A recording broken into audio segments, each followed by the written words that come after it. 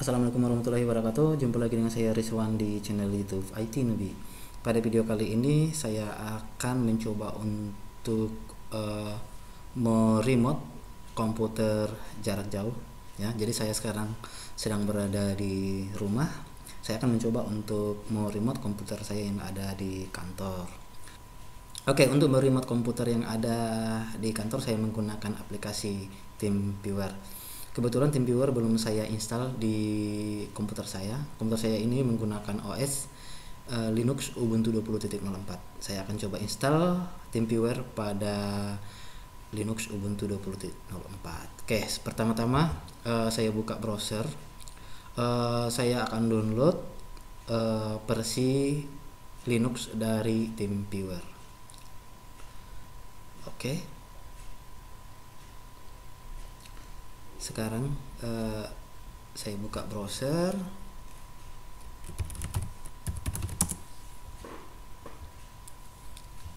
Oke, sekarang saya buka browser dengan menggunakan Google Chrome.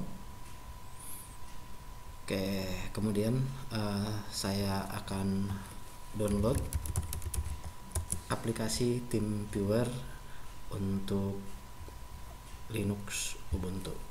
Oke ketik TeamViewer di sini kemudian masuk ke TeamViewer download.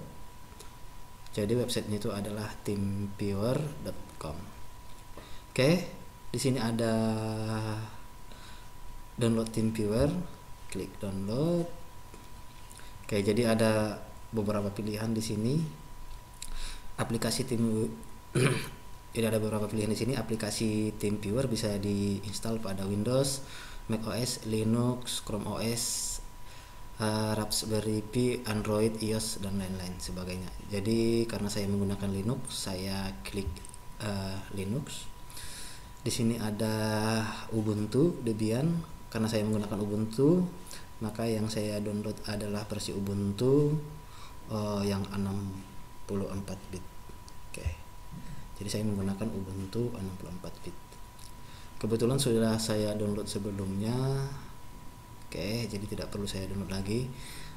Jika ingin menyimpan untuk menyimpannya maka uh, arahkan dulu tempat folder penyimpanan.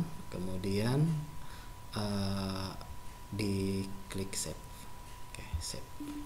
Oke karena saya sudah menginstal sebelumnya. Sorry. Oke karena saya sudah download sebelumnya jadi uh, saya replace aja Oke, uh, jadi saya akan mencoba menginstal uh, TeamViewer pada Ubuntu 20.04. Oke, uh, untuk menginstal saya biasa menggunakan terminal. Oke, jadi masuk ke terminal di sini.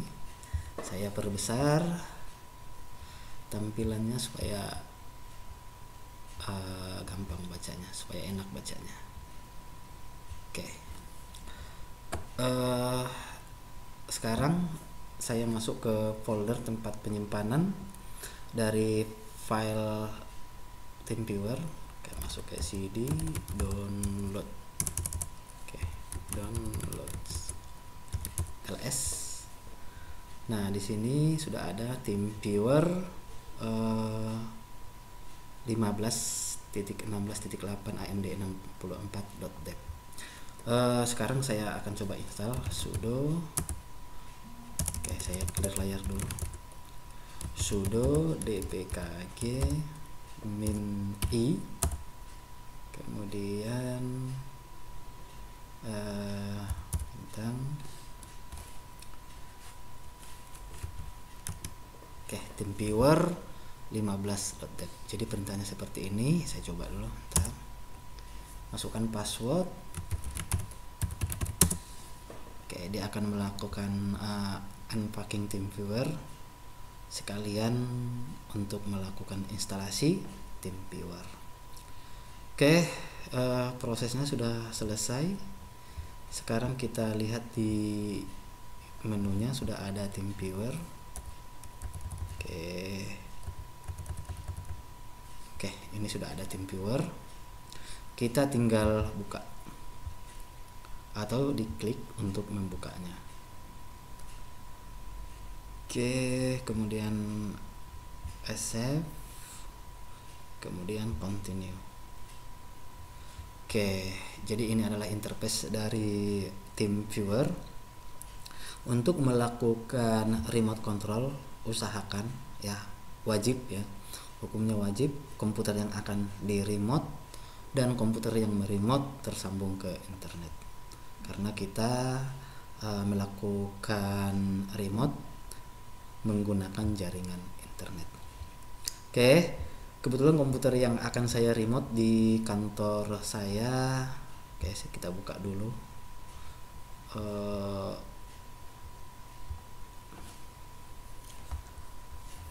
yang sudah saya foto sebelumnya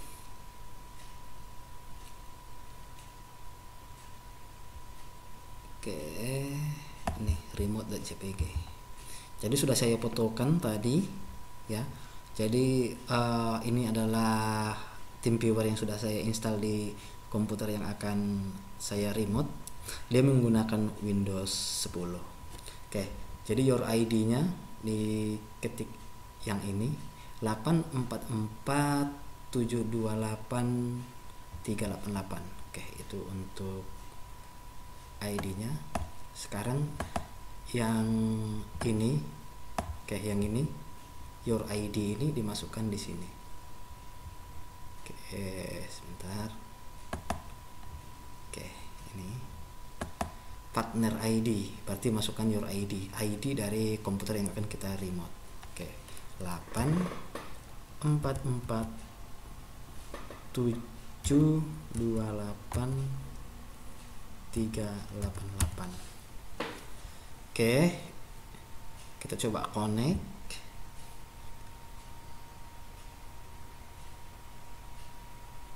Oke connect. Kemudian masukkan password. Jadi inilah passwordnya. F2 P A. Jadi dia masukkan passwordnya ini di sini. Kemudian login.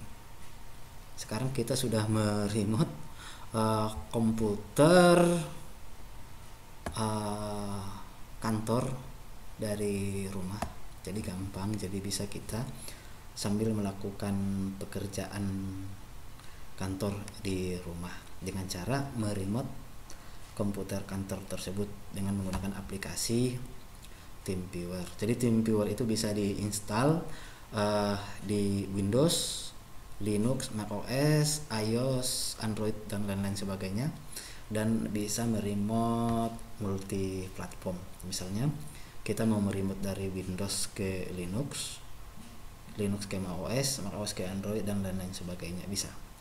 Oke, itu enaknya dengan menggunakan TeamViewer. Oke,